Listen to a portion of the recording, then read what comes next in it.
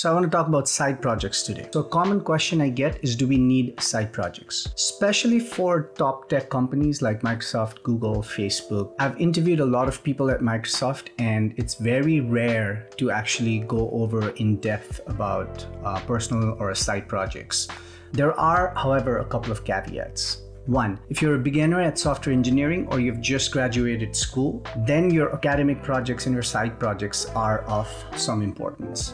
Two, if your side project is something unique or impactful, then that becomes a conversation topic as well. But that doesn't mean that your side projects aren't important. They actually are. The problem is that we look at side projects purely from an angle of adding something to the resume and not from our own interests and skills. When we do side projects for our own skills and interests, the benefits will automatically add up to your resume. Remember that the main goal of doing these projects is to get better at software engineering and have fun while at it. So what makes a good side project? I think a good side project utilizes various different technologies. It's likely going to be full stack that utilizes your front end, back end, multiple cloud services, IoT hubs, hardware, software, interfaces between different kind of technologies, where you not only make use of different kinds of technologies, but also learn how they communicate with one another to build the entire system. So you probably also want to use the latest tools, frameworks, and popular programming languages so that what you end up doing is transferable to other projects as well. You need to have passion for it. There needs to be a story behind it. Why did you participate on it? Why did you contribute to this project? What's the idea behind it? What was the goal? And that always makes up for a cool story. It doesn't have to be a complicated project, but it's got a good reason behind it.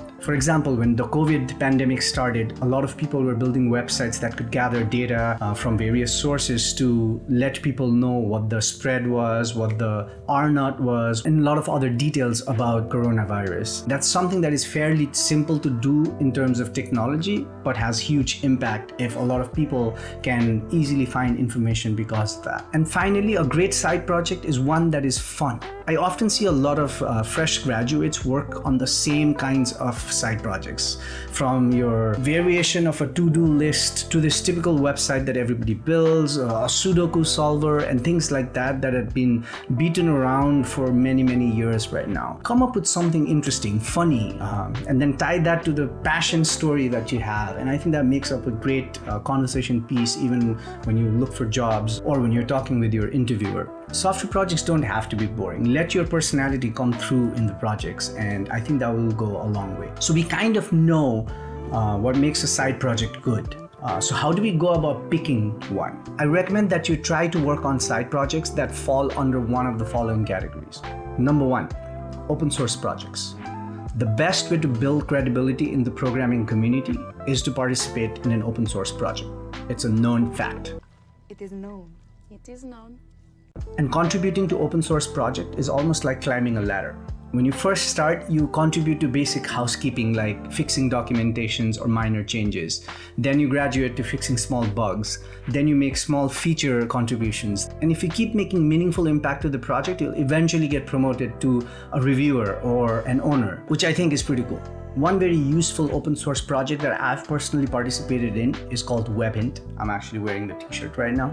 It's a customizable linting tool that helps your site's accessibility, speed, cross-browser compatibility, so on and so forth.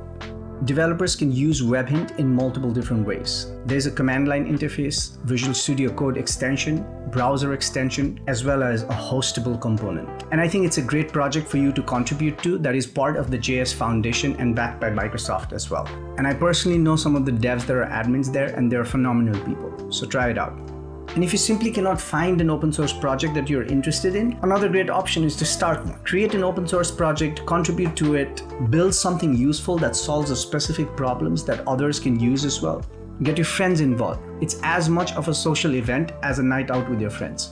The second option is to try to build something that utilizes a range of cloud services. Almost everything these days is built on top of a complex network of distributed services. So it's a great idea to try to build something that utilizes a bunch of cloud services and components. You've got your client side things like apps and websites, that connect things over an API to the backend, which is built on top of a plethora of distributed services like message queues, IoT hubs, databases, containers, so on and so forth. While your side projects may not be large enough to require things like containers and load balancers, I think if you still try to utilize them in some form, it's a great way to learn system design in general and the basics of scalability. So one fun project that I always wanted to build in this scope, but I never had time, was to actually help me out with groceries. So I shop at Costco a lot. And if you go to Costco, you know that they only sell things in bulk. So what happens is, say I go buy olive oil, it comes in a pack of three, and then we'll use one and put two of them in the pantry. So next time when that first jar of olive oil finishes and I'm at Costco, I think that I've run out of olive oil, so I end up buying three more, and then realize that now I have five in the pantry, right? So what I thought was maybe I could make use of some open source barcode scanning tool connected to a backend via maybe a bot or just build an app that maintains an inventory of things that I've bought from Costco in my database. So then every time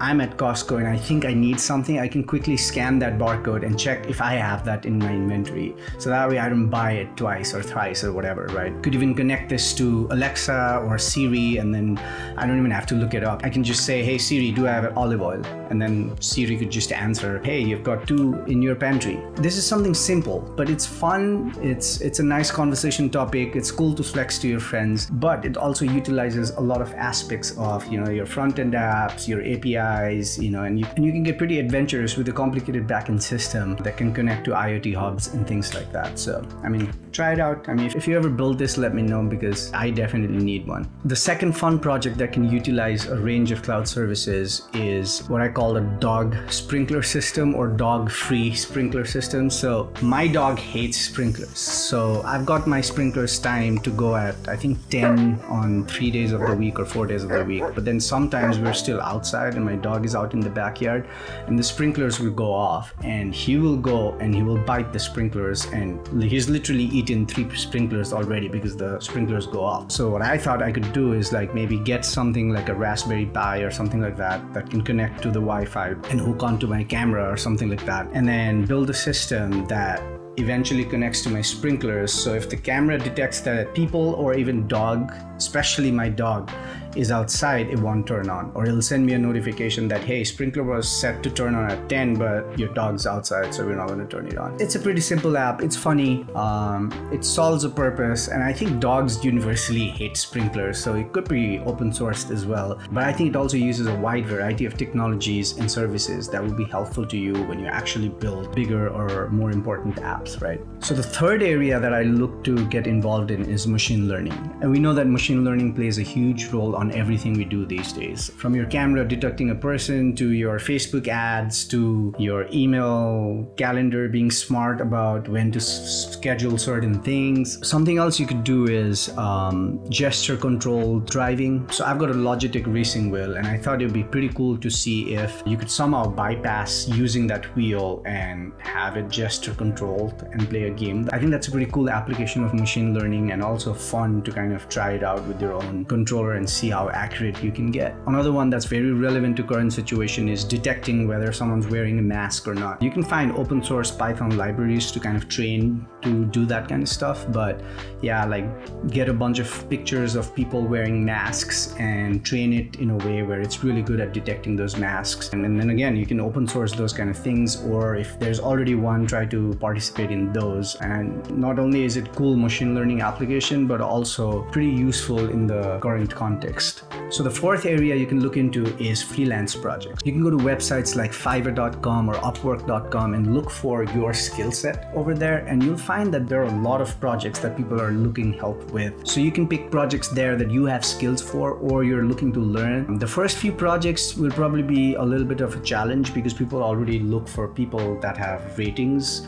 So maybe you'll do it for cheap, you know, or even free. Hey, I'll build an iOS app for free. Positive thing about doing freelance project is they come in a range of lengths. So you can do something that takes you a weekend to something that's like a three month project. And not only do you build your online portfolio, but also make some side income doing that. So I think that's a great option as well. And the last area you could probably get involved in is competitive coding. And this will probably have the biggest impact if you're looking to get a job at one of the top tech companies like Facebook, Google, Microsoft, Amazon, Apple, because the questions they ask in the interviews are directly pulled out of competitive coding. It will essentially be a question that tests your problem solving skills in a limited amount of time, for which you need thorough knowledge of data structures and algorithms. So competitive coding is a great way to build all that. For example, if I gave you 10 cities with a road network that connects those cities with varying distances between them, could you write the code that finds the shortest distance between any of those two cities in less than 30 minutes? This is basically just a super simplified version of Google Maps. And it's basically using some algorithm to find the fastest route between point A to point B. These are how interview questions are. So if you thought this problem was challenging to you or you thought it was really interesting, competitive coding is one of the things that you can do to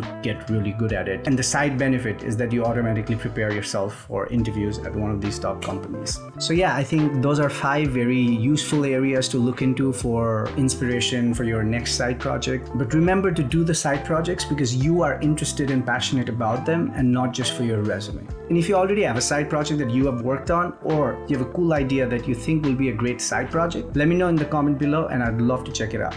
Thanks.